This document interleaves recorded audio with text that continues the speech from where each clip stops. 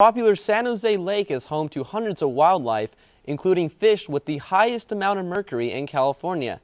Last week, State of Events reporter Stephanie Nguyen shared how this could be a risk to 2.5 million Bay Area residents. Stephanie joins us now in the studio to tell us what's being done to make the lake a safer haven for animals and residents alike. Thanks, Matt. San Jose residents visit Almaden Lake for the various amenities it has to offer, but gold mines from the early 1800s left the lake contaminated with methyl mercury. I visited the park this week to see what's being done to tackle this toxin. The sounds of children playing, wildlife frolicking around the park.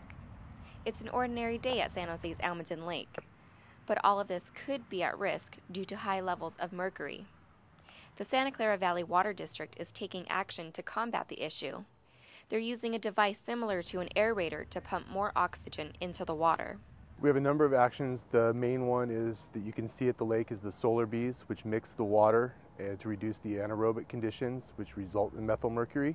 Holes up to 60 feet can be found in the lake, making it a mercury hotspot. Although the Santa Clara Water District has spent millions on improving the conditions at Almaden Lake, the city of San Jose has posted a number of these health advisory signs to warn people of the potential dangers at Almaden Lake. Warnings of toxins caution visitors not to swim or fish in the water. But that didn't keep a mother daughter duo from catching and releasing fish on this sunny afternoon.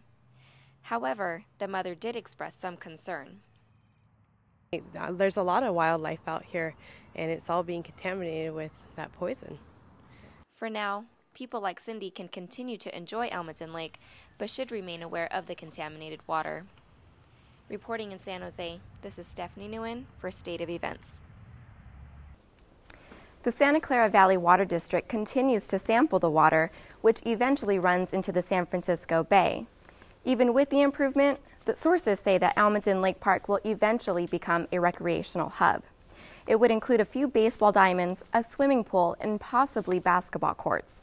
Construction on this project could get started as soon as 2013. Now back to you, Matt and Angela.